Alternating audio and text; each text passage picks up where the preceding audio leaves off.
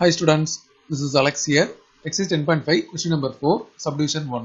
dy by dx equal to root of 1 minus y square by 1 minus x square அப்படின்னு கொடுத்துருக்காங்க.